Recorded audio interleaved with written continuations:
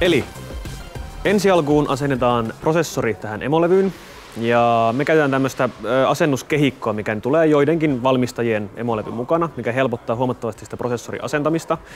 Prosessoriasentaminenhan on yksi, yksi hankalimpia vaiheita, kun kasataan itse konetta ja se on myös se helpoin vaihe, missä tulee, tulee rikottua sitten, etenkin niin kuin näissä Intelin osissa, niin tulee rikottua noin pinnit tuolta emolevyltä, joka sitten useimmiten on, se on sitten siinä.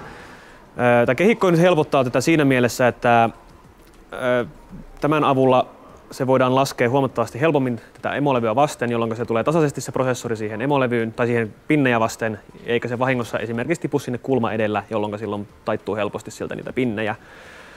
Kun tätä kehikkoa käytetään ja muutenkin kun asennetaan tuo prosessori, niin pitää katsoa erittäin tarkkaan, että tässä prosessorissa on pieni kolmio, tässä kehikossa on pieni kolmio ja samoin tässä prosessori kannan päällä olevassa metallissa olevassa suojamuovissa on kolmio, niin aina kolmio pitää olla, prosessorissa pitää olla saman, samassa kohdassa kuin tässä kehikossa ja sekä tässä kannen suojamuovissa. Samoin pitää katsoa myös ne pienet, pienet hakaset, kun on täällä prosessorin reunoilla ja so- soketin reunoilla, että ne menee varmasti oikein päin, koska jos prosessorin asentaa väärinpäin ja sen pistää kiinni, niin todennäköisesti silloin taas silloin taas tuhottu sieltä soketti siihen kuntoon, että se ei ole käyttökelpoinen. Öö, seuraavaksi asennetaan muistit. Ja muisti kun asennetaan, niin on hyvä katsoa tästä muistislotista. Täällä on tämmöinen pieni väkänen, joka on hieman tästä keskikohdasta alempana ja sama kohta on sitten muistikammassa tämmöinen pieni lovi, eli kun ne pistetään täsmäämään, niin silloin sun muistikampa ei ole väärinpäin. Tämä muistikampa laitetaan sitten tähän kevyesti, painetaan toinen reuna kiinni ja tämä puoli, missä on sitten tämmöinen lukitusmekanismi, niin tämä puoli painetaan sitten lopuksi siihen pisteeseen asti, että kuuluu pieni naksahdus. Muistikampojen asennuksessa kannattaa ottaa huomioon, että näihin muistin kontaktipintoihin ei kannata mennä koskemaan, koska ras, sormissa on usein jotain, kuitenkin jotain pientä rasvaa tai likaa, niin se voi estää sitten tämän kontaktin syntymisen.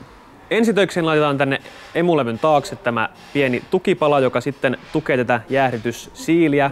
Kaikissa jäähdytyssiileissä ei tule tämmöistä taka, takalevyä mukana, vaan ne tulee suoraan sitten noihin neljään reikään kiinni.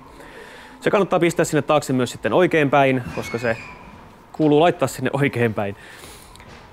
Tuki, tuki täytyy laittaa taakse oikein päin ja siellä on pieni, pieni lovi myös, mistä sitten pystyy katsomaan tämän, että se nyt varmasti on tullut sinne oikein päin.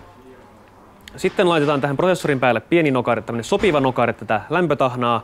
Joissakin prosessorit jäähdyttimissä tämä lämpötahna on suoraan kiinni tässä jäähdytyssiilin pohjassa, mutta tässä se on nyt erillisenä ja se laitetaan sinne väliin.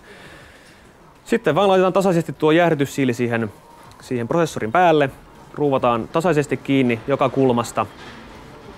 Ja lopuksi sitten vedetään tämä virtajohto näppärästi täältä, pyöräytetään tämän jäähdytyssiilen yli, joten se ei heilu sitten tuolla, tuolla pitkin, pitkin koteloa ympäriinsä, vaan se menee nätisti sieltä ympäri ja laitetaan tuonne CPU-fan, eli siis tuulettimen virtaliitin kohtaan emolevylle.